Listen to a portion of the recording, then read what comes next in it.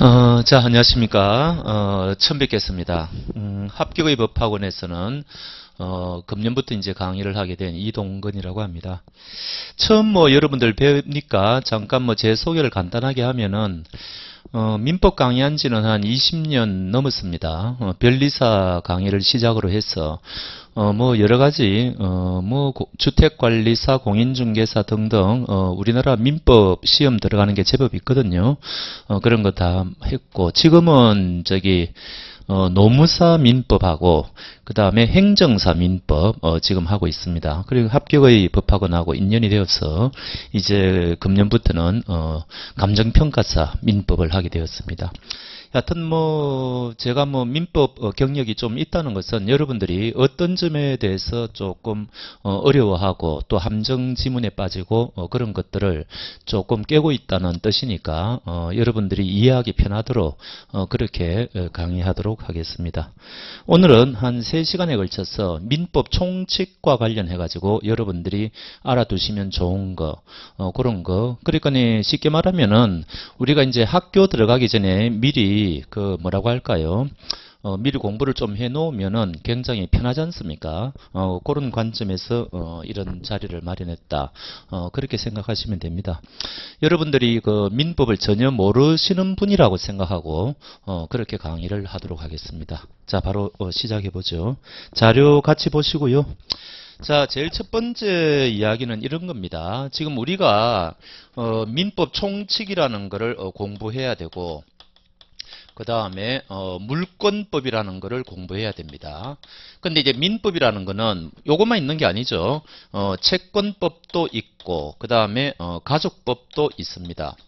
그래서 뭐 법무사 시험 같은 경우에는 뭐 이거 전체가 다 시험 범위고 변리사 같은 경우에는 여기 재산법만 시험 범위고 우리 감정평가사는 요거 민법 총칙하고 물권법만 시험 범위고 그 다음에 노무사 같은 경우에는 민법 총칙하고 채권법이 시험 범위고 다 다릅니다. 그래서 우리는 저 민법 총칙하고 물권법을 이제 집중적으로 보셔야 되는데 그거를 보기 이전에 도대체 왜 이런 어 민법의 경우에는 이런 민법 총칙이라는 과목 과목이 있느냐. 어, 요거를 먼저 조금 아실 필요가 있단 말이죠. 어, 그거를 지금 해보도록 하겠습니다. 자 그러기 위해서는 우리가 소유권이 변동되는 과정을 살펴보는 게 제일 좋습니다. 그래서 제가 그 사례를 보면은 프린트 한번 보시죠. 갑은 1월 1일 을에게 자신의 건물을 10억 원에 매도하고 1억 원을 계약금으로 받았다. 보통 10% 이제 부동산 같은 경우에는 계약금 지불하죠.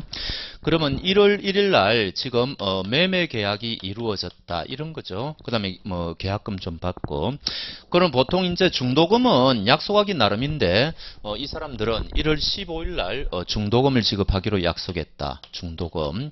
그 다음에 마지막 이제 잔금 지급하는 게 언제입니까? 2월 1일 날 잔. 잔금을 지급하기로 했다. 그럼 요 날이 이제 옛날에는 뭐 이거 집문서다 뭐 이런 말도 했는데 요거를 우리가 이제 권리 필정이다. 요렇게 이야기를 하죠. 요거를 이제 막교환합니다. 요런 거를 이제 법에서는 보통 상환한다. 요렇게 이야기를 하죠. 그 다음 이제 그거를 근거로 해가지고 등기소에 가서 이제 어 소유자가 바뀌었으니까 내 이름으로 등기해달라 신청하겠죠.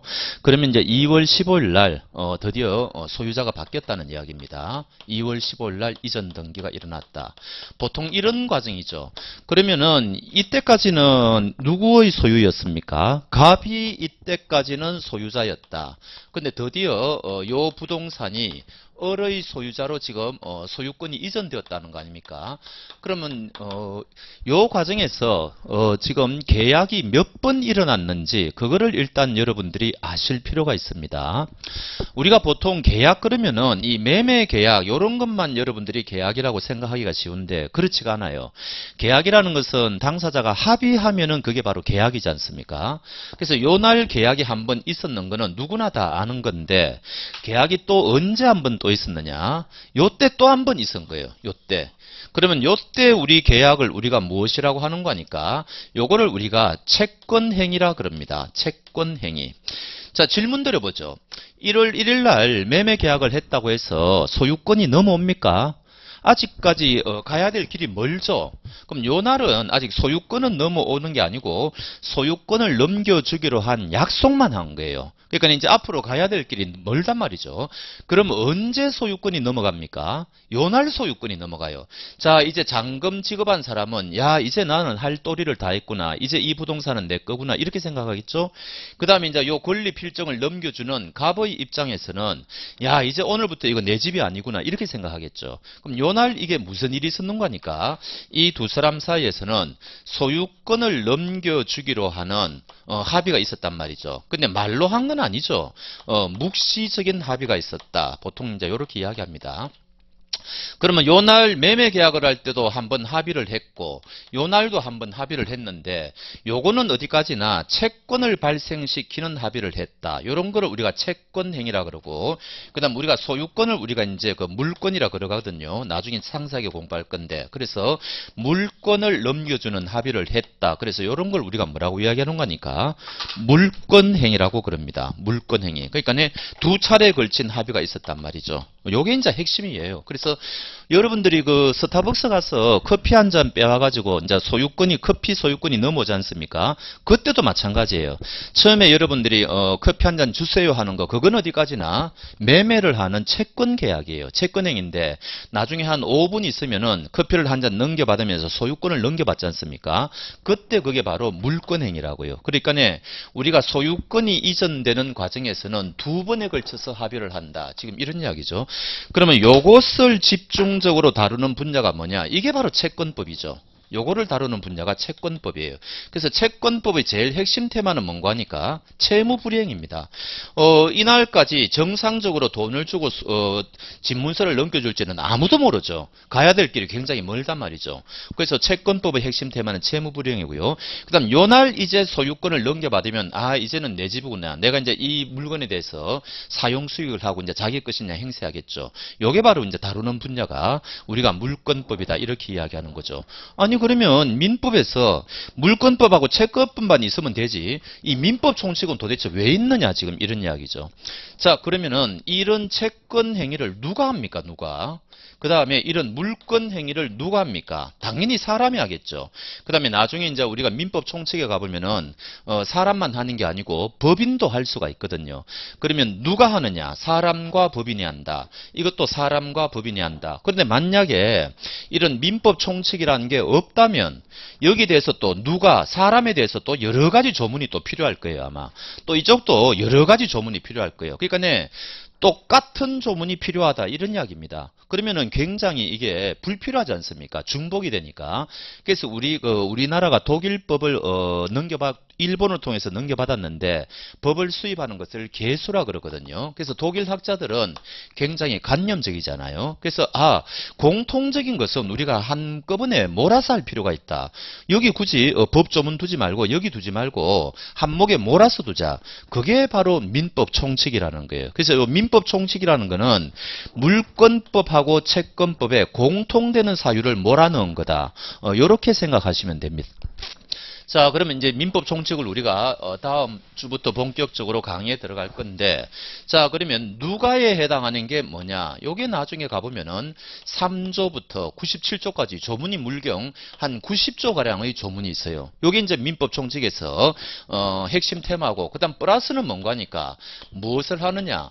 법률 행위를 한다는 겁니다. 요 법률 행위가 조금 전에 예를 들면은 우리가 말씀드린 채권 행위라는 거고 그 다음에 요게 이제 물권 행위라는 거죠. 그럼 예를 들어 가지고 이 채권 행위를 했는데 어떤 사람이 사기를 당해서 했다. 그럼 요 물권 행위라는 것도 어떤 사람이 사기를 당했다. 어 그러면 사기라는 거는 지금 공통되는 거지 않습니까? 그럼 요런 사기를 법률 행위 요 민법 총칙에다가 사기를 다 넣어 놓은 거예요. 이런 식으로. 그래서 공통되는 것을 다 몰아넣었다. 또 채권행위를 또 대리인이 할 수도 있지 않습니까? 물권행위를 또 대리인이 할 수도 있죠. 이것도 마찬가지예요. 이 민법 총칙에 어, 대리 파트를 넣어가지고 다 한 겁니다. 자, 그럼 어떤 문제가 생길까요? 요게 이제 어 그래서 민법 총칙은 크게 봐가지고 누가 요거는 이제 주체에 해당하는 거고 그 다음에 요 법률행위는 목적어죠. 법률행위를 하면은 어떤 결과가 발생합니까? 법이라는 것은 권리 의무 관계죠. 권리 의무 관계가 뭐 발생하기도 하고 또 이게 뭐 변경되기도 하고 뭐 이게 또 소멸되기도 하거든요. 이런 것을 논하는 것이 민법 총칙이다. 이렇게 생각하시면 돼요. 근데 이제 문제가 생겼죠. 여러분들은 이제 민법 총칙을 처음 공부하시는데 어, 채권법 아십니까? 물권법 아십니까? 전혀 모른단 말이죠. 그런데 이 민법 총칙이라는 과목은 이 물권법과 채권법을 아는 것을 전제로 해가지고 만들어졌다는 거죠. 그러면 첫 시간부터 이- 이제 2조의 신의성실의 원칙이 하고 나오는데 거기 가보면은 전부 채권법과 물권법에 굉장히 어려운 내용들이 많이 나옵니다. 그러니까 아 처음 공부할 때는 이 민법 총칙이 굉장히 어려운 거구나. 누구나 다 그렇게 생각한단 말이죠. 그러니까 쉽게 말하면은 아직 구구단도 잘 모르는데 인수분해가 먼저 나오는 그런 꼴이 되어버려요. 그래서 처음에 어, 민법 총칙을 한 1회독, 2회독 할 때까지는 어, 굉장히 민법 총칙이 좀 어렵게 느껴진다. 이제 그런 어, 문제가 있, 는 겁니다. 그러나 이제 그거를 한 1, 2회독 해가지고 진짜 조금 감을 잡으면은 그때부터는 민법 총칙이 어, 굉장히 좀 쉽게 느껴지죠. 그리고 이 민법 총칙은요, 이 나올 수 있는 문제가 어, 다 나왔다고 보시면 돼요.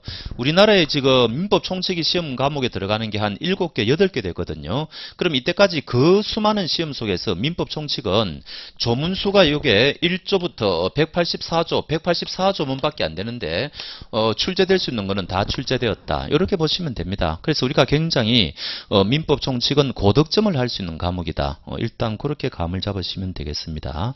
자, 그럼 일단 프린트 한번 읽어보시죠. 자, 1번 매매계약, 채권법의 영역이다. 계약에 의해서 채권이 발생된다. 요 시점에서는 아직 건물 소유권이 이전되는 것이 아니라 당사자는 건물과 대금에 대해서 채권 채무 관계를 가질 뿐이다. 요런 것을 채권행위라 그러고 이거는 우리 그 감정평가사에서는 시험 범위가 아니죠.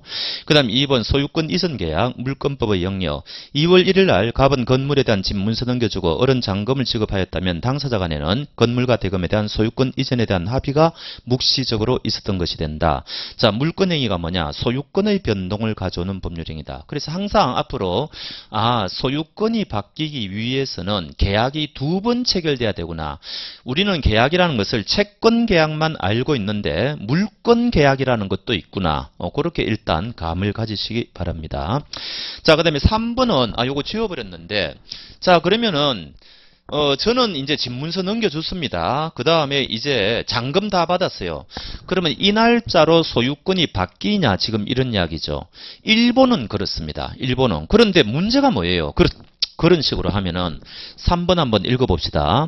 2월 1일 당사자는 건물에 대한 소유권 이전의 합의를 하였으므로 건물의 소유권 이전 시점은 2월 1일인가? 일본은 맞다는 거죠.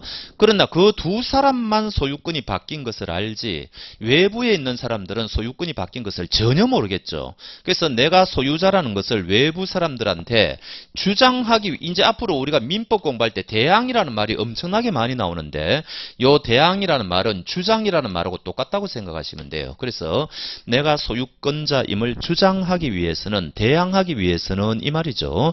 어, 등기를 해야 된다. 그래서 일본은 등기를 해야만 대항할 수 있다. 이미 소유자는 바뀌었다는 이야기죠. 그래서 등기를 우리가 대항 요건이라 그래요. 근데 우리나라는 일본 그 일제시하의 법을 어, 이어받았으면서도 이거를 과감하게 포기했어요. 그래서 우리나라는 아 그런 거 굉장히 복잡하단 말이죠. 두 사람 사이에서는 소유자가 바뀌었는데 외부 사람에 대해서는 소유자임을 주장하기 위해서는 등기를 해야 된다. 어 이거 대내 관계하고 대외 관계가 분리되는 거 아니냐. 이거 굉장히 복잡하다. 이래가지고 이거를 포기하고 우리는 어떻게 했느냐.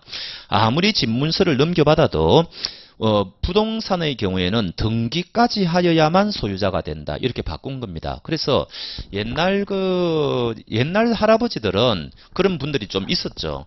어, 내가 농사를 짓고 있다. 집 문서도 내가 가지고 있다. 토지 문서 가지고 있다. 그러면 이제 소유자라고 착각한단 말이죠. 그런 아직 등기를 하지 않았다면은 소유자가 아니다. 어, 그런 이야기가 되겠습니다. 그런 거는 나중에 우리가 물권법에서 이제 다루는 거. 자, 이번에 민법의 체계. 채권법 어디까지나 이거는 아직 소유자가 아니죠. 뭐 건물 넘겨달라, 그, 돈 달라 이런 것 이제 다투는 법률 관계입니다. 특정인에게만 요구할 수 있다는 점에서 물권과 다르다. 그 다음에 어, 채권 강론이라는 것은 우리 시험 범위는 아닙니다. 그러면 도대체 왜 내가 어떤 사람에게 채권이라는 것은 무엇 무엇인가를 청구할 수 있는 권리인데 원인이 뭐냐 이거죠. 요게 네 가지가 있어요. 요거를 다루는 게 이제 채권 강론이라는 건데. 되는데 우리 시험 범위하고는 관계가 없으니까 우리는 자세하게 볼 필요는 없습니다. 근데 왜 우리가 지금 채권법을 어, 부분 부분적으로 조금씩 알아야 되는 거니까 그거를 모르면은 민법 총칙을 이해하지 못하게 돼 있습니다. 그래서 심지어 시험에는 어, 채권법에 있는 그 법조문을 간혹 낼 때도 있어요. 긴밀하게 연결되어 있는 것은 그래서 채권법에 대해서 어, 기본적인 것은 좀 알아야 된다. 어, 그렇게 보시면 되고요. 일단 이런 거는 다 넘어가겠습니다. 그 다음에 물 건이 뭐냐? 어, 물건. 물건이 뭐예요? 물건. 앞으로 물건이라 그러면 아 권리는 권리인데 요 물건에 대해서 어떤 권리를 가지고 있느냐 이거를 다루는 영역이다. 이렇게 생각하시면 되겠죠. 그래서 물건에 대한 권리인데 물건이라는 것은 이게 모든 사람에게 어, 주장할 수 있는 권리거든요. 그러면 상식적으로 생각해 보십시오. 제가 어떤 물건이라는 걸 만들어 가지고 모든 사람에게 이거 내가 배타적으로 독점적으로 지배하겠다 그러면은 다른 사람들은 뻥칠 거 아닙니까? 그래서 요거는 법에서 인정하는 것만 어, 물건으로 인정하는 거죠. 요거는 우리가 물건 민법에서 공부하는데 8가지만 일, 단 인정이 된다고 아시면 됩니다. 그거는 나중에 이제 우리가 물권법에서 다루면 되고 자 그래서 3번의 민법 총칙, 재산법의 총칙, 물권법과 채권법의 공통 부분을 규정하고 있다. 이런 거를 이제 독일식 판덱텐 시스템이라 그럽니다. 장점, 조문수를 줄일 수가 있죠. 아까 말씀드렸고 단점, 물권법과 채권법에 대한 기본 이해가 선행되어야 된다. 그래서 결국은 우리가 민법 총칙을 공부하는 것은 이거 두 가지라 그랬죠. 누가 누가 그 다음에 법률 행위를 하느냐 요거 두 가지를 다루는 게 민법 총칙의 주 테마다 그런 이야기입니다. 자 그러면 3번에 공시의 원칙과 공신의 원칙이 나오는데 요거는 사실은 우리가 물권법에서 공부하는 주된 테마예요. 그런데 왜 이거를 미리 공부하느냐 이것을 모르면 민법 총칙에 대해서 한 발짝도 나갈 수가 없는 부분이 많습니다. 그래서 물권법이지만 먼저 미리 좀 알아야 될 게 있다. 그런 이야기죠. 자 어, 넘겨보시면 필요성 물권은 모든 사람에게 주장할 수 있는 권리니까 누가 어떤 물권을 가지고 있는지를 대외적으로 알아야 된다. 알려야 된다. 그래야 그 사람의 물권을 침해하지 않을 것이다. 채권은 외부 사람들한테 알릴 수가 없죠. 제가 어제 친구한테 100만 원 빌려줬습니다. 그거를 무슨 수로 외부 사람들한테 알릴 수 있습니까? 그 불가능하단 말이죠. 근데 물건은 간단하게 알릴 수가 있죠. 그래서 이런 거를 공적으로 알린다 그래가지고 공시라 그래요. 그러면 부동산의 경우에는 이건 어떻게 하느냐. 등기부 보면 알 수가 있죠. 누구나 떼볼 수 있습니다. 이 집에 대해서 누가 소유자인지 이 건물에 대해서 저당권이 설정되어 있는지 지상권이 설정되어 있는지 그거 다 나온단 말이죠. 그래서 부동산은 등기. 근데 동산은 뭐예요? 이거는 사람이 움직일 수 있는 거지 않습니까? 그러니까 등기부를 통해서는 할 수가 없는 거예요. 그래서 이거는 어쩔 수 없이 그거를 점유하고 있으면은 어, 그 사람은 뭔가 동산에 대해서 권리가 있는 걸로 봐주자. 그래서 요거를 우리가 공시라 그럽니다. 어, 부동산은 그 사람이 어떤 권리 가지고 있는지 등기부 보면 된다. 동산의 경우에는 제가 지금 이 물, 이 물을 지금 점유하고 있지 않습니까? 그러면 여러분들은 아, 저 사람은 물에 대해서 뭔가 어, 소유권이 있는 모양이 그러겠구나. 이렇게 짐작할 수가 있죠. 어, 그런 거를 우리가 공시라 한단 말이죠. 자, 그래서 부동산은 등기, 동산은 점유, 가장 기본적인 겁니다. 자, 여기서 이제 공신의 원칙이 나온 문제죠. 이게 진짜 제일 문제가 됩니다. 자, 우리는 공시 방법을 믿고 거래할 수밖에 없다. 갑이 건물 등기부에 소유자라고 등기되어 있으면 대부분 그 사람은 소유자가 맞겠죠. 근데 갑이 실제로는 소유자가 아닌 경우도 있을 수 있다. 이때 등기부를 믿고 거래한 사람은 보호가 되는가? 아니면 이는 진정한 권리자를 보호할 것인가? 거래의 안전.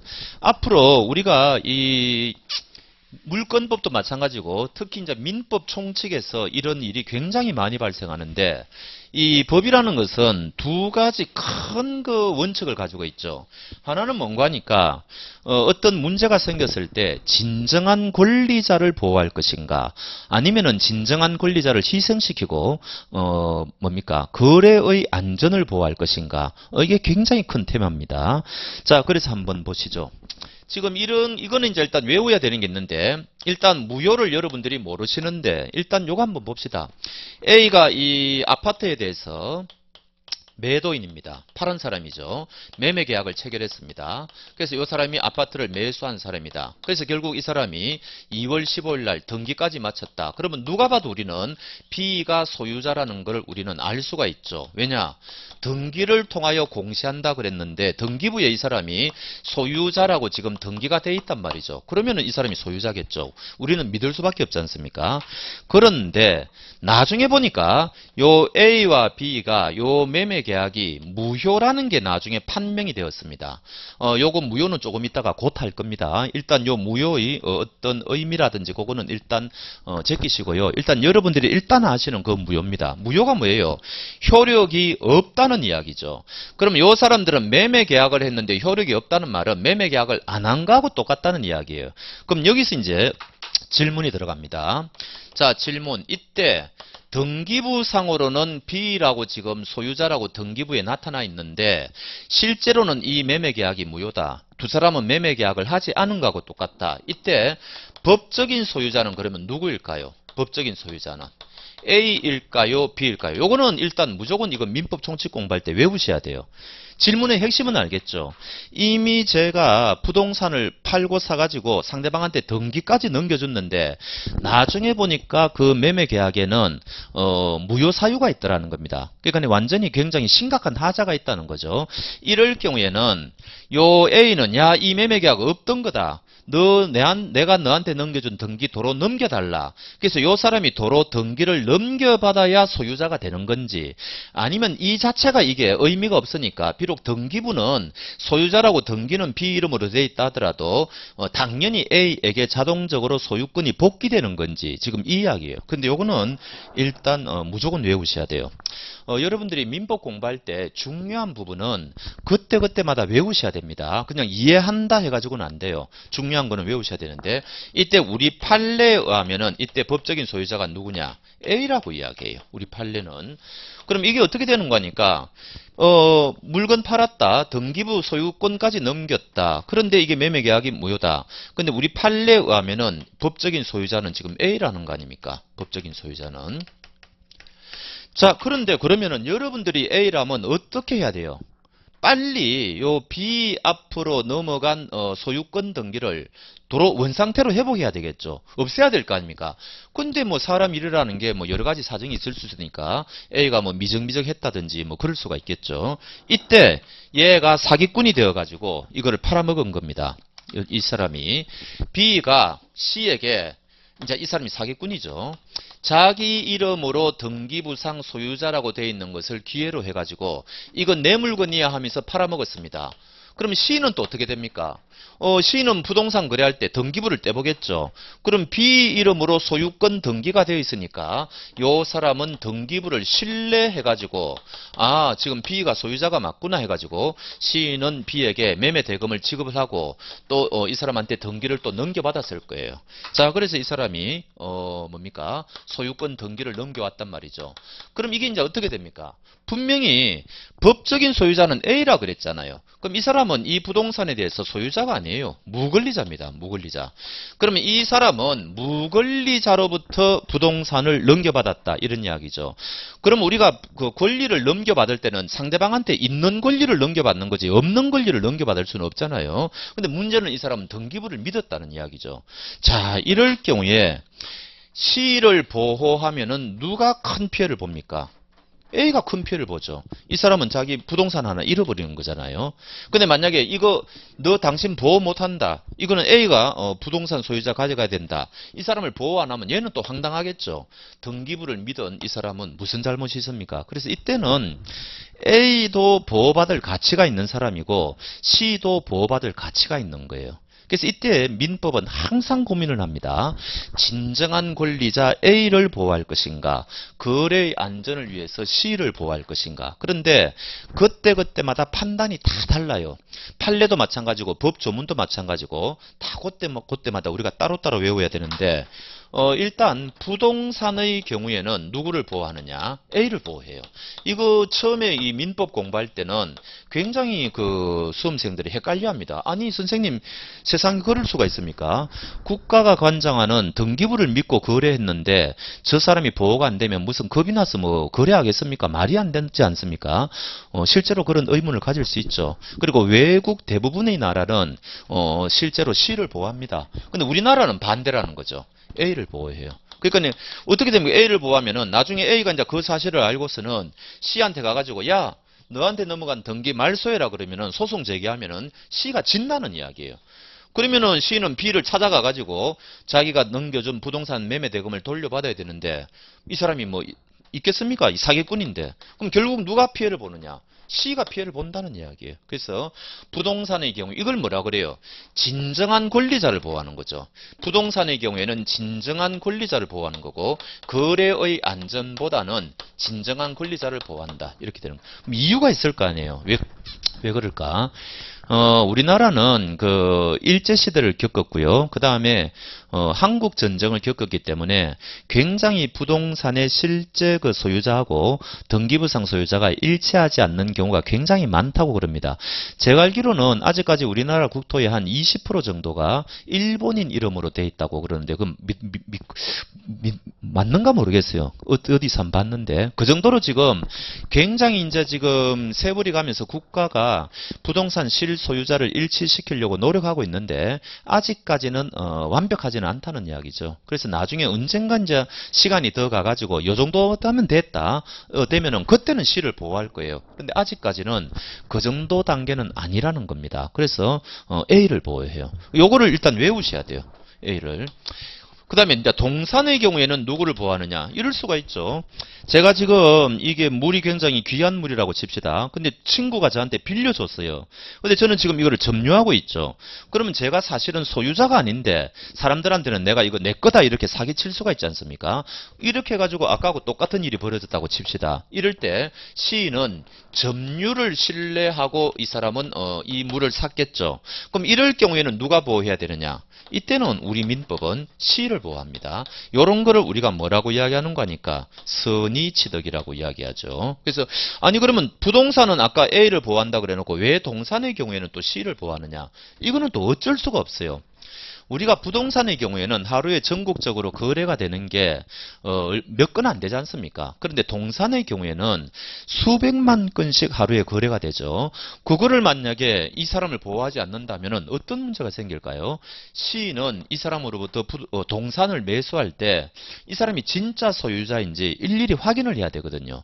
그러면은 그거는 심각하게 거래의 신속성이라든지 그런 거를 해치게 되는 거죠. 그래서 어쩔 수 없이 정책적으로 동산은 어, 시를 보호합니다. 그래서 어, 게 물권법에서 가장 기본적인 테마예요. 근데 이거를 왜 알아야 되느냐? 나중에 우리가 민법 총책에서 공부할 때 요 예외적으로 또 시를 보호하는 게 나오거든요. 이 원칙을 100% 관철시키면은 아까 말씀드렸지만 이 부동산 겁이 나서 거래 못 합니다. 그래서 우리 입법자들은 예외적으로 시를 보호하는 장치를 마련하고 있어요. 그래서 그런 것들을 우리가 민법 총책에서 107조, 108조, 109조, 110조에서 나오는데 너무너무 중요한 테마이기 때문에 미리 어, 여러분들이 이런 메커니즘을 아셔야 된다는 이야기죠. 자, 한번 가봅시다. 자, 공신의 원칙, 문제의 소재. 자, 어, 이번에 부동산은 어, 공신의 원칙을 부정한다. 자, 진정한 권리자를 보호한다 그랬죠. 즉, 등기부를 믿고 거래한 자는 보호되지 않는다는 것이 원칙이다. 이때 매수인은 억세게 질수 없는 사람이죠. 그런데 이걸 100% 관철하면 무서워서 거래할 수가 없을 것이다. 그래서 민법은 예외를 두는데 그것이 바로 선의의 제3자에게 대항하지 못한다라는 규정이다.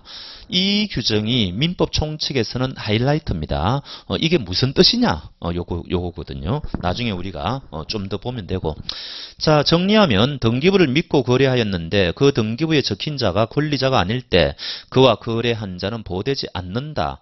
그런데 만약에 선의의 제3자에게 대항하지 못한다. 이런 조문이 있다면 그는 보호가 된다. 그러면 어느 경우에 그런 조문이 있느냐? 민법은 네 가지 경우밖에 없어요. 그래서 어, 우리는 선의의 제3자 보호 규정이 어디에 있는지를 외워야 하는데 네 군데밖에 없으니까 쉽게 외울 수 있다. 나중에 한번 볼 거고요.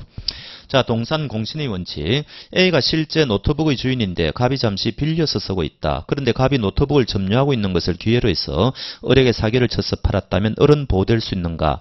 만약 부동산처럼 매수인이 보호되지 않는다고 치자. 그렇다면 매수인들은 매매할 때마다 어, 매도인이 실 소유자인지를 일일이 확인해야 될 것이다. 동산은 하루에도 수백만 건씩 전국 각지에서 거래되고 있는데 이는 사실상 불가능하다. 그래서 민법은 어쩔 수 없이 동산의 경우에는 거래의 안전을 위해서 매수인을 보호한다. 이를 선의취득이라고 하는데 일정 요건이 필요한 것은 물론이다. 자, 매도인이 소유자가 아닌 것을 뻔히 알면서 매수한 사람까지 보호할 수는 없지 않은가 그런 거죠. 자, 여기까지가 이제 거래의 안전과 진정한 권리자의 보호라는 두 테마, 그거를 말씀드렸고요. 자, 이제 법률행위라는 거, 어, 우리 민법 총칙에서 제일 중요한 거, 법률행위에 대해서 말씀드려보도록 하겠습니다.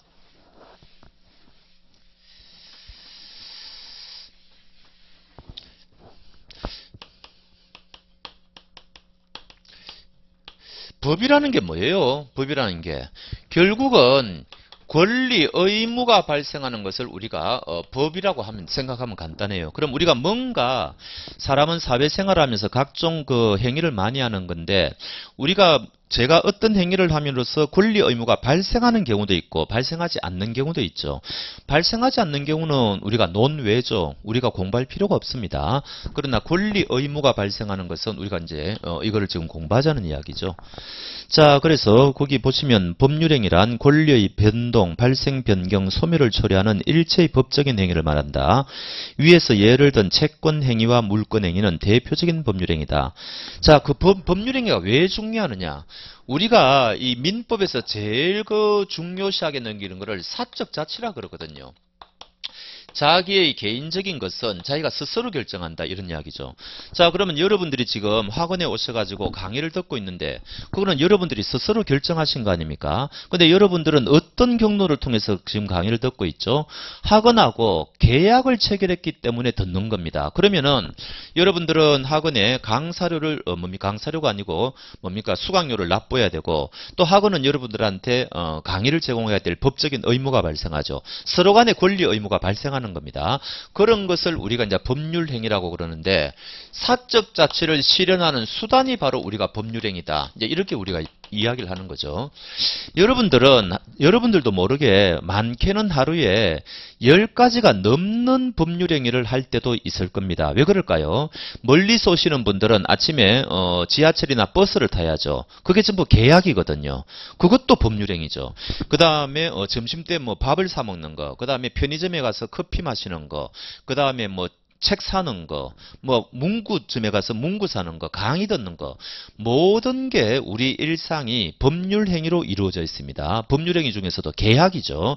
그러면 그거를 통해서 우리는 무엇을 어, 취득하고 있느냐? 우리가 원하는 것을 우리가 이제 실현하는 거죠. 그거를 우리는 지금 사적 자체라고 한단 말이죠. 그러니까 이 법률 행위는 우리 사적 자체를 실현하는 핵심 수단이다. 그래서 이게 중요한 거예요. 요게 이게 이제 소송법으로 가면은 우리가 이걸 뭐라고 이야기하는 거니까 요거를 어, 소송행위라 그러죠. 소송행위. 그 다음 이게 행정법으로 가면은 이거를 우리가 뭐라 그럽니까? 요거를 행정행위라 그러죠. 뭐 이런 식으로 이 법률행위에서 이런 모든 것들이 다 파생이 되는 거예요. 그래서 어, 민법의 법률행위는 그만큼 중요한 개념이다. 이렇게 하시면 됩니다. 자, 1번의 사측자치. 법률행위는 사측자치를 실현하는 수단이 된다. 자신이 원하는 물자를 계약에 의해서 조달하는 것을 생각해 보면 법률행위는 민법에서 핵심이 되는 것임을 알 수 있다. 그런데 법률행위는 그러면은 이게 뭡니까? 어떻게 그러면 법률행위가 이루어지느냐? 자, 우리는 자기가 가지고 있는 마음속의 의사를 외부에 표시해야 되는 거죠. 사람은, 인간은 언어의 존재니까. 근데 요 의사 중에는 법적인 의사도 있을 것이고 비법적인 의사도 있을 겁니다. 근데 비법적인 의사는 우리가 문제 삼지 않죠. 우리는 여기서 법률형이니까 법적인 의사를 문제 삼아야 될 거 아닙니까? 그래서 우리가 뭔가 외부에 의사를 표시하는데 그것은 전부 어, 법적인 의사를 표시하는 거다. 그래서 우리가 의사 표시, 의사 표시 그러면은 의사라는 말하고 표시라는 말이 섞여 있는 거예요. 그래서 법적인 의사를 외부에 표시한다. 자, 그런데 만약에 제가 예를 들어 가지고 이 물건 물건을 10만 원에 만약에 팔겠다. 요렇게 만약에 의사 표시를 했다고 합시다. 요것만 가지고는 매매 계약이 이루어지지 않죠. 그 말을 들은 누군가가 상대방이 어, 오케이. 요런 걸 우리가 이제 성낙이라고 합니다. 먼저 제의한 사람을 우리가 청약이라 그래요. 그래서 청약이라는 의사 표시하고 성낙이라는 의사 표시가 일치를 하죠. 요 사람은 10만 원에 사겠다 그러고 요 사람은 10만 원에 팔겠다 그러니까 요럴 때 우리는 계약 중에서도 매매 계약이 이루어진다. 이렇게 평가하는 거죠. 그러니까 제가 말씀드리고자 하는 것은 뭔가 하니까 뭔가 어, 계약이 이루어지기 위해서는 의사 표시가 두 개 필요하다는 거죠. 의사 표시의 합치가 있어야 되니까. 그래서 계약은 의사 표시가 두 개 필요하다. 그거 한번 읽어봅시다. 종류, 계약, 당사자의 합의하여 하는 것이다. 자, 그러면은 우리가 물건을 사고 팔면은 매매 계약이죠. 그 다음에 임대차에 대해서 합의가 있으면은 임대차 계약이죠. 근로계약에 대해서 합의가 있으면은 근로계약이죠. 이런 식으로 그 당사자가 원하는 바에 따라서 각종 다양한 자기가 원하는 어, 그런 계약을 체결할 수가 있는 겁니다. 그래서 이런 걸 우리가 의사표시가 두 개인 것을 우리는 계약이라고 한다. 뭐 여러분들이 다 아시는 거예요. 자, 그런데 제가 한 달 전에 맺은 계약을 어 보니 까 좀 문제가 있다. 나는 없애야 되겠다. 그거를 우리가 취소라 그러죠. 그럼 그때는 뭐라고 이야기하면 됩니까? 계약을 취소할 때는 의사표시의 합치가 필요 없죠. 그때는 일방적으로 어, 나는 의사표시를 하면 됩니다.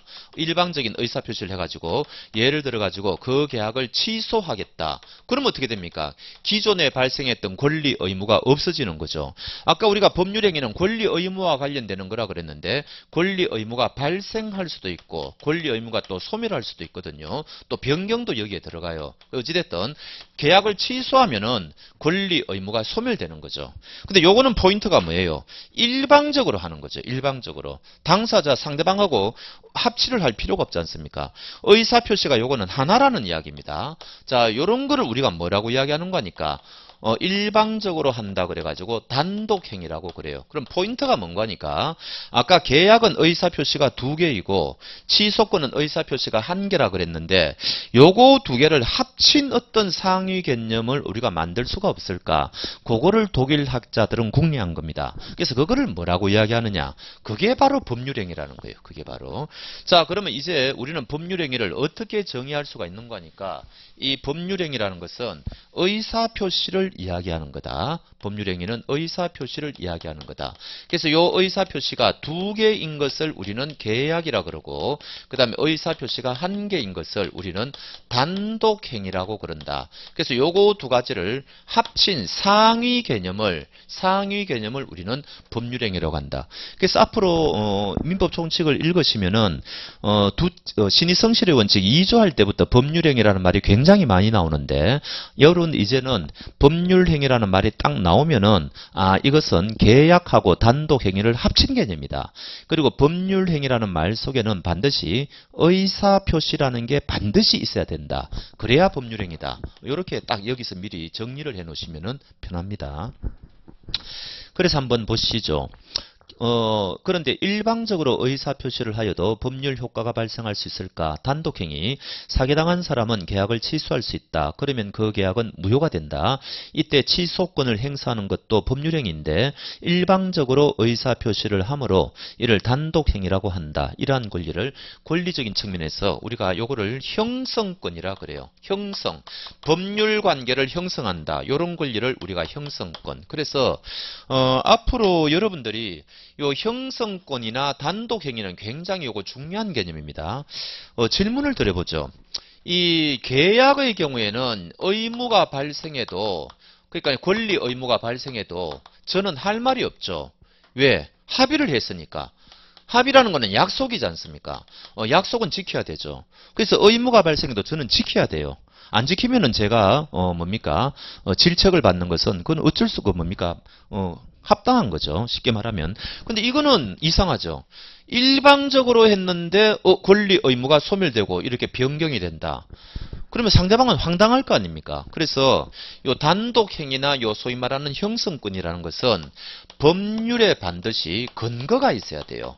그래서 우리가 여러분들은 그 취소라는 거를 어, 예사로 생각하실지 모르겠는데 계약을 취소하기 위해서는 법에서 말하는 일정한 요건이 있어야 돼요. 안 그런데 제가 일방적으로 계약을 파기할 수는 없지 않습니까? 그래서 요 단독행위라는 거, 요 형성권이라는 것은 반드시 법률에 근거가 있어야 된다. 요거를 우리가 어, 법정주의다. 이렇게도 이야기를 합니다. 자, 그러면은 거기 어, 2번에 더 읽어보면은 사기당한 사람은 계약을 취소할 수 있다. 나중에 110조에서 공부합니다. 그러면 그 계약은 무효가 된다. 이때 취소권을 행사하는 것도 법률행위인데 일방적으로 의사 표시를 함으로 이를 단독행위라고 한다. 이러한 권리를 형성권이라고 한다. 자, 요까지 오늘 어, 이야기한 거는요. 조금 서론적인 이야기고 이제 정말 중요한 말이 나옵니다. 자, 우리는 그래서 조금 전에 제가 이런 말씀 드렸죠. 계약은 당사자가 합의하는 거다. 약속한 거다. 그러면은 어, 약속은 지켜야 된다. 약속은 지켜야 된다. 그러니까 어, 이게 지키지 않는 걸 우리가 채무 불이행이라 그러죠. 이게 이제 로마법상의 중요한 아주 유명한 법원인데 여기에 대한 예외가 있다는 거죠. 약속을 지키지 않아도 되는 예외가 있다는 겁니다. 그게 뭐냐? 요거 공부하는 게 민법 총칙의 또 다른 테마예요. 그래서 앞으로 여러분들이 민법 총칙 공부하시다 보면은 이런 이런 경우는 무효다. 무효는 뭐예요? 법적 효력이 없다는 거 아닙니까? 그럼 약속을 지키지 않아도 되죠. 그 다음에 어떤 사람이 취소권을 행사한다. 그것도 마찬가지죠. 어, 계약이 없어지는 거니까. 그럴 때는 어, 약속을 지키지 않아도 된다는 거죠. 그래서 요 예외를 한번 보자는 거죠. 자, 거기에 3번에 있습니다. 계약을 지키지 않아도 되는 경우 1번 무효 사유의 존재. 계약이 성립하였지만 그러니까 겉으로 봐가지고는 계약이 성립했는데 속을 들여다보니까 계약의 성립 과정에 중대한 하자가 있다. 그러면 그 계약은 처음부터 아무런 효력이 효력이 발생하지 않는다는 말은 권리 의무가 처음부터 발생하지 않았다는 이야기입니다. 그럼 만약에 주고받은 게 이미 있으면 어떻게 됩니까? 그 사람은 계약이 없어졌는데도 남은 물건을 가지고 있으니까 일종의 이런 거를 채권법에서 뭐라고 이야기하는 거니까 부당이득이라 그러죠. 그럼 부당이득은 돌려주어야 된다. 그래서 어, 부당이득은 반환해야 된다. 앞으로 여러분들이 어, 민법 총칙을 공부하시다 보면은 부당이득 반환 의무, 반환 청구권 이런 말이 나오거든요. 그래서 부당이득은 반드시 돌려줘야 된다. 너무 당연한 거죠. 그래서 왜 부당이득이 생기느냐? 아니 계약 계약이 무효인 줄 모르고 이미 돈을 건넸다. 부동산을 건넸다. 근데 나중에 보니까 계약에 무효 사유가 있더라. 그럼 상대방은 받은 사람은 부당이득을 하고 있는 것이니까 돌려줘야 된다. 그렇게 생각하시면 간단하죠. 그게 이제 나온 겁니다. 자 그러면 계약이 무효면 권리 의무의 불발생 따라서 받은 것은 부당이득이 되니까 뒤처리는 전부 부당이득이라고 생각하시면 돼요. 자, 그러면 어떤 게 이게 무효 사유인지 중대한 중대한 하자가 있다는 건데 그러면 당사자가 이거를 이 사람은 중대한 하자라고 하고 이 사람은 중대한 하자라고 안 할 수도 있지 않습니까? 그래서 이거를 미리 밝혀야 돼요. 그래서 민법은 무효 사유를 대개 명문으로 규정합니다. 근데 이제 의사 무능력자의 법률 행위는 무효라는 것은 판례가 하는 이야기인데 이것은 왜 그러면 법에 규정을 하지 않았느냐? 학자들은 너무 당연하기 때문에 규정하지 않았다. 이렇게 하거든요. 그래서 어떤 무효 사유는 대개 법에 보면은 다 있습니다. 이제 여러분들이 그거 앞으로 외우셔야 되는 거죠. 어떤 경우에 무효다, 무효다 이런 거를 외우셔야 보셔야 되는 겁니다. 그 다음에 취소권의 행사. 계약을 체결할 때 뭔가 잘못은 있었는데 무효에 이르는 정도의 심각한 잘못은 없었다는 겁니다. 그렇지만 그렇다고 해서 무시할 수 없는 잘못이 있었을 때 이 사람의 선택에 맡겨요. 아까 무효는 선택이 없죠. 계약은 무조건 없어지는 겁니다. 그러니까 취소는 너가 판단하라는 거죠. 만약에 사기를 당했다면 은 너가 그 계약을 없애지 않고 그대로 갈 건지 아니면 은 너가 그 계약을 없앨 것인지 너한테 판단권을 주겠다. 요게 취소예요. 그럼 우리 민법에는 취소가 사유가 네 가지 가 있습니다. 제한 능력자가 법정 대리인의 동의를 받지 않고 거래한 경우 어, 제한 능력자라는 말은 미성년자 생각하시면 되죠. 미성년자는 판단 능력이 부족하기 때문에 뭔가 거래를 할 때는 법정 대리인의 동의를 받아야 되는데 동의를 받지 않았다. 그러면 취소권을 인정하거든요. 나중에 다 공부하시면 되고 그 다음에 착각을 해가지고 거래했다. 뭐 착각도 중대한 착각이어야 되는데 일단 취소권 주고요. 그 다음 사기당한 사람 어, 취소권 주고요. 그 다음 강박이라는 것은 강한 협박을 받았고 거래한 사람입니다. 이 사람도 취소권을 주겠다는 이야기죠. 그래서 요 민법에는 요거 이외에는 취소라는 말을 쓰면 안 돼요. 근데 여러분들이 그 헷갈리시는 게 여러분들이 예사로 그 음식점 같은 데나 술집에 가가지고 취소라는 말을 사실은 남용하고 있거든요. 어, 짜장면 시켰다가 한 1분 후에 마음이 바뀝니다. 그러면 주인한테 어, 사장님 저 짜장면 취소하고 짬뽕으로 할 수 있겠습니까? 이렇게 물어보잖아요. 근데 그럴 경우에는 취소라는 말을 쓰면 안 돼요. 왜냐? 민법에서 말하는 취소는 요거 네 가지 외에는 인정을 안 하거든요. 그러니까 내 앞으로는 어, 취소라는 말의 아 우리가 굉장히 잘못 쓰고 있구나. 어, 그런 거를 공부하시면서 한 번씩 어, 아시게 될 겁니다. 자, 그러면 무효와 취소의 사유 한번 보시죠. 앞으로 우리가 공부할 것들이에요. 자, 1번에 보시면은 자, 우리가 당사자 우리가 이제 민법 총칙에서 누가를 공부한다 그랬는데 어, 뭔가 거래를 하기 위해서는 판단 능력이 있어야 되겠죠. 그런 것을 우리가 이제 의사 능력이라 그러거든요. 근데 이게 없는 사람을 우리는 의사 무능력자라 그럽니다. 뭐 만취자라든지 치매 걸린 사람이라든지 등등 우리가 뭐 생각할 수 있겠죠. 그런 사람들이 거래한 거래는 오른쪽에 무효라는 거죠. 그 다음에 행위 능력이라는 것은 요 의사 능력보다 이제 한 걸음 더 나아간 건데 의사 능력이 있는지 없는지를 판단하는 것은 쉽지가 않거든요. 그래서 아예 민 법은 요런 기준을 딱 설정해 놓고 요 기준에 미달하는 사람은 너는 혼자서는 그래 못해. 이렇게 만들어 버리는 겁니다. 요런 걸 우리가 민법에서 제한 능력자라 그래요. 능력이 제한되어 있다 이런 이야기죠. 법률 행위를 할 능력이 제한되어 있다 이런 뜻이에요. 그럼 이 사람들은 어떻게 해야 되느냐? 어, 법정 대리인의 동의를 받고 누군가의 도움을 받아야 됩니다. 근데 도움을 받지 않고 그랬다면 이 사람들한테는 나중에 취소권을 주거든요. 앞으로 우리가 민법 총 칙에서 다 공부할 것들입니다. 그 다음에 이제 목적이라는 것은 추구하는 내용이죠. 매매 계약을 했다면 무엇을 추구했느냐? 근데 불가능한 것을 추구했다. 그거를 우리가 원시적 불능이라 그러거든요. 이런 겁니다. 앞으로 요거는 이제 채권법에 나오는 건데 5월 1일 날 도자기 계약을 매매 계약을 체결했는데 6월 1일 날 이 도자기를 넘겨주기로 약속했습니다. 그럼 한 달 텀이 있지 않습니까? 그런데 이 도자기는 사실은 4월 29일 날 이미 깨어진 도, 도자기예요. 이걸 멸실이라 그러는데 그러면 나중에 6월 1일 날 이 도자기를 깨어주는 것은 처음부터 불가능했죠. 이런 거를 우리가 원시 적 불능이라 그럽니다. 그러면 이럴 경우에 이 도자기 매매 계약은 어떻게 되느냐? 우리 판례에 의하면 이 매매 계약은 무효라고 이야기하거든요. 이럴 경우에도 이제 무효 사유가 생긴다. 요거는 이제 채권법 이야기고 그다음에 우리가 뭔가 계약을 체결할 때 법을 어기면 안 되지 않습니까? 근데 강행법규 조금 이따가 나오는데 반드시 지켜야 되는 법이라고 일단 생각하시면 됩니다. 근데 그거를 위반했다. 이때는 무효가 되고요. 또 우리가 계약을 체결할 때는 사회적으로 타당한 계약을 체결해야 되는데 무슨 장기를 밀매한다든지 뭐 이런 거 여러 가지 마약을 거래한다든지 이런 거는 사회적으로 타당하지 않지 않습니까? 그래서 그렇로 사회적으로 타당하지 않다면 그 계약은 또 무효라고 돼 있어요. 그 다음에 이제 그, 일, 그 밑에 의사 표시가 있는데 그 1번에 비진이 표시, 2번에 통정허위 표시, 3번에 차고 그 다음에 그 밑에 사기 강박 있죠. 요거 네 가지가 민법 총칙에서는 하이라이트입니다. 요게 어, 소위 말하는 107조부터 110조까지라는 건데 요거는 나중에 우리가 조금 있다가 항을 달리해 가지고 조금 자세하게 봐야 돼요. 그래서 지금 제가 말씀드리고자 하는 것은 무엇인가 하니까 지금 어, 앞으로 민법 총칙을 공부 물권법에는 이런 게 없어요. 물권법은 굉장히 정적입니다. 제가 지금 소유권을 가지고 있는데 이거 어떻게 활용할 거냐? 이거 임대해가지고 내가 수익을 올릴 거냐 아니면 내가 이거 어떻게 사용할 거냐 뭐 이런 거거든요.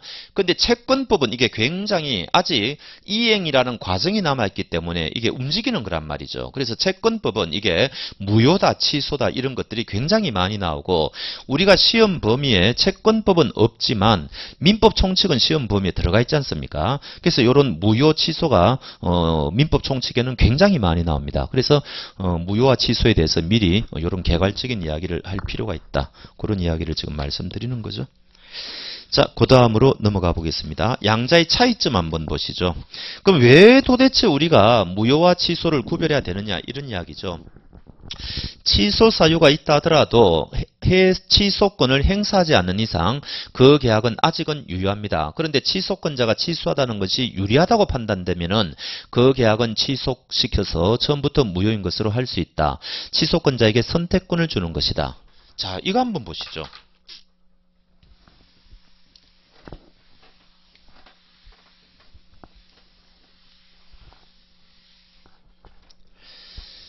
자, 1월 1일 날 어, 10억 원의 매매 계약을 체결했어요. 근데 이 사람은 지금 17세 미성년자입니다. 미성년자는 원래 법정 대리인의 19살 될 때까지 법정 대리인이 있거든요. 법정 대리인의 동의를 받고야 되는데 동의를 받지 않았어요. 혼자 단, 단독으로 거래했습니다. 그럼 요 17세 미성년자가 만약에 갑이라고 한다면은 얘는 취소권이 발생해요. 취소권이 생깁니다. 자, 그런데 나중에 보니까 이게 일주일 후에 이 부동산 가격이 11억으로 뛰었습니다. 폭등했다는 이야기죠. 그럼 얘는 취소권이 있지만 취소권 행사하겠습니까? 안 하겠습니까? 안 하죠. 오히려 더 결과적으로 잘 됐잖아요. 아, 요거, 어, 요거 매수했다고 칩시다. 매수.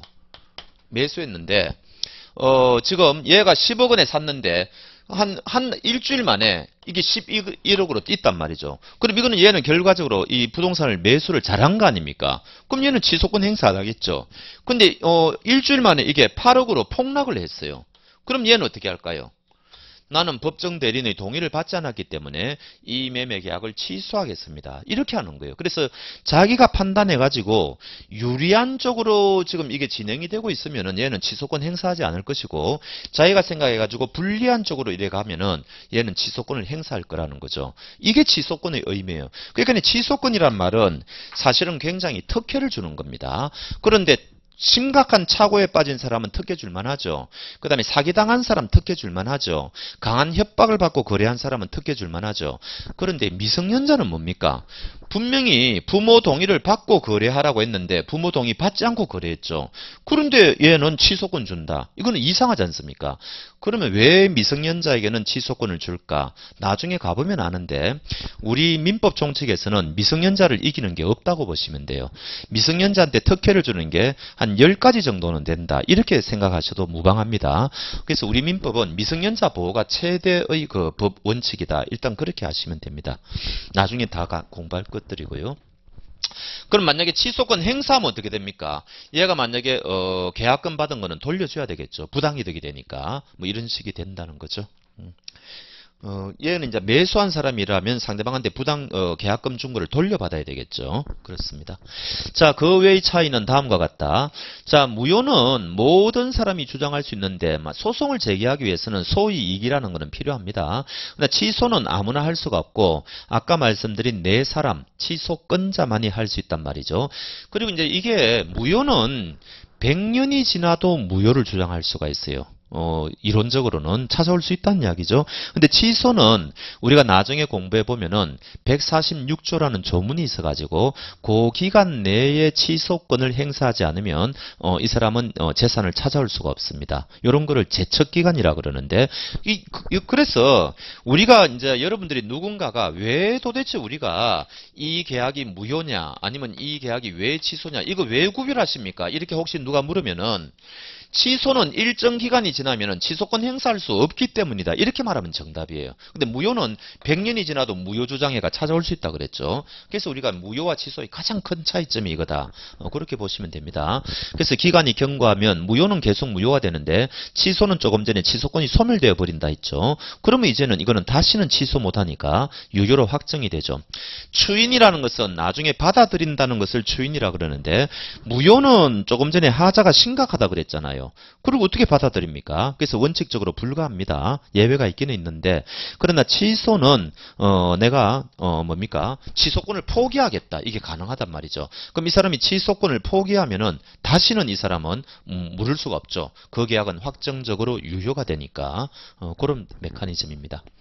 자, 그러면 지금 우리는 무엇을 하고 있는 거니까 계약을 지키지 않아도 되는 경우를 지금 공부하고 있는데 첫 번째가 무효 사유가 있을 때, 그 다음 두 번째 취소 사유가 있을 때 그거 공부했거든요. 그럼 세 번째가 뭔가 하니까 계약을 해제해 버리면은 어, 이 계약은 또 지키지 않아도 됩니다. 그럼 도대체 해제라는 거는 뭐냐? 요거는 앞으로 이게 이제 채권법에 있는 이야기인데 민법 총칙을 읽다 보면은 해제라는 말이 또 시도 때도 없이 나와요. 그러니까 어차피 여러분들이 아셔야 되는 건데 요 해제는 상대방이 채 무를 불이행할 때 내 쪽에서 할 수 있는 거다. 이렇게 생각하셔야 돼요. 그래서 요거는 채무 불이행이 핵심입니다. 아니 지금 중도금을 지금 제 날짜에 주기로 약속을 했는데 안 주고 있습니다. 그럼 저는 어떻게 해야 됩니까? 언제까지 미룰 수는 없잖아요. 그럼 없던 그 계약을 파기하고 없던 일로 하고 딴 데 가서 이 물건을 팔든지 새로운 길을 못 새겨야 될 거 아닙니까? 그때 할 수 있는 게 길이 해제라는 거예요. 그래서 해제는 요건 요것도 일방적으로 하는 거죠. 요것도 일방적으로 하는 거고 취소도 일방적으로 하는 겁니다. 그럼 아까 일방적으로 할 때는 법에서 뭔가 근거가 있어야 된다 그랬지 않습니까? 채권법에 가보면은 상대방이 채무를 불이행할 때 이쪽에서는 계약을 해제할 수 있다. 이런 권리가 있거든요. 그래서 채무 불이행을 잊으시면 안 됩니다. 해제권도 취소권과 같이 일방적으로 계약을 없애버릴 수 있는 권리다. 그런데 아무 사유도 없는데 일방적으로 계약을 해제할 수는 없죠. 왜? 두 사람이 합의한 거를 파기하려면 그만한 합당한 사유가 있어야 될 거 아닙니까? 그 요건이 필요한데 그것은 바로 채무자가 채무 불이행을 하는 경우이다. 이때 채권자는 마냥 기다릴 수 없으니까 일정한 요건 하에 계약을 없앨 수 있다. 취소와의 비교, 취소권이나 해제권이나 기존 계약을 없앨 수 있는 권리라는 점은 동일하다. 그러나 결정적인 차이가 있는데 그것은 요건이다. 취소는 위에서 말한 네 가지 사유 중에 하나가 발생해야 되고 해제는 상대방이 채무 불이행을 하는 경우다. 그러니까 이제 조금 더 정밀하게 이야기하면은 이런 거예요. 자, 1월 1일 날 매매 계약을 체결했는데 예를 들어 가지고 여기 중대한 착오 사유가 있다. 그럼 요거는 취소 사유라 그랬죠. 취소권입니다. 근데 만약에 1월 1일 날 매매 계약을 했는데 이때는 아무 문제가 없었어요. 정상적으로 했는데 이 사람이 1월 15일 날 중도금을 주기로 약속을 했는데 요거를 상대방이 어, 약속을 안 지키더라. 그걸 우리는 채무 불이행이라 그러죠. 요럴 때 발생하는 게 뭐냐? 요게 바로 계약 해제권이란 말이죠. 그래서 어 계약의 해제권은 매매계약 체결할 때는 아무 문제가 없은 겁니다. 근데 나중에 이런 예상치 못한 일이 발생한 거죠. 이럴 때 계약에서 빠져나갈 수 있는 거 그것을 우리는 해제권이라고 한다. 그러나 이거는 취소라는 거는 아예 매매계약 체결할 때 근본적인 어, 심각한 하자가 있었다. 너무너무 그 하자가 심각하면 입법자들은 그거를 무효라 그러고 그 정도에 이르지 않는 것을 우리는 취소라고 그런다. 아니 그러면 선생님 그러면 민법에 어떤 것은 무효 라고 돼 있고 어떤 것은 취소라고 돼 있는데 그거는 어떻게 정하는 겁니까? 그거 국회의원들이 정해요. 국회의원들이 여러 나라 어, 입법이라든지 그런 거를 비교하고 우리나라 상황을 비교해 가지고 요거는 너무너무 하자가 심각하니까 아예 이거는 처음부터 무효라고 하는 게 맞다. 그러면 무효가 되는 거고 야 이거는 그 정도는 아닌 것 같아. 이 사람들 판단에 맡기자. 지가 취소하고 싶으면 취소하게 해두자. 선택권을 주자. 이렇게 국회의원들이 판단했다면 그거는 취소 사유가 되는 겁니다. 그래서 우리나라는 이, 이, 아직까지는 취소 사유를 네 가지만 인정하고 있다는 거죠. 어, 그거를 걸 외우셔야 돼요. 미성년자, 그 다음에 착오에 빠진 자, 그 다음에 사기당한 자, 그 다음에 강박당한 자, 뭐 그렇게 생각하시면 됩니다. 자, 그 다음에 4번은 합의 해제라는 건데 이제는 어, 계약을 합의하에 없애는 거예요. 이때까지는 일방적으로 없애는 거죠. 취소나 해제는 요거는 합의하에 없애는 겁니다. 그러므로 합의 해제도 계약의 일종이다. 이는 현실에서 굉장히 많이 발생한다. 아까 제가 중국집 짜장면 이야기했죠. 짜장면 시켰다가 짜장면 매매 계약을 취소하고 짬뽕으로 바꾸는 것을 생각해보라.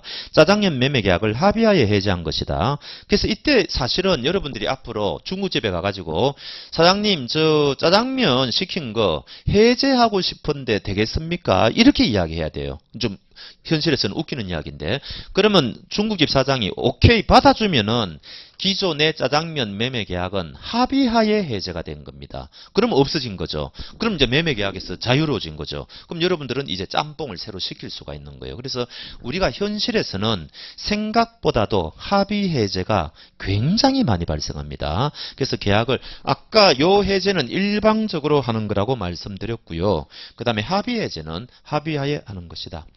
그 다음에 요 해제하고 비슷한 것에 해지라는 게 있어요. 요거는 뭔가니까 요 해지권은 요거는 계속적 계약을 전제로 하는 겁니다.